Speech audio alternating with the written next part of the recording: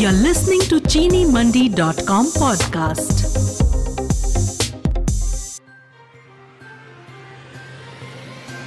Latur district to get two new sugarcane crushing units.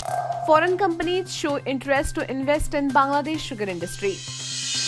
Union cabinet approves infusion of rupees 1500 crore in IREDA.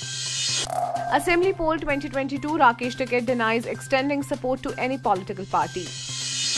India reports over 2.8 lakh new COVID-19 cases, daily positivity rate at 15.13%. Sugar production slightly increases in Philippines. UP Assembly polls will ensure cane payment in the next 15 days, says Akhilesh Yadav. PM Modi asks party workers to encourage farmers for chemical-free farming. To read more such stories, please visit to chinimandi.com and don't forget to subscribe our channel by pressing the bell icon.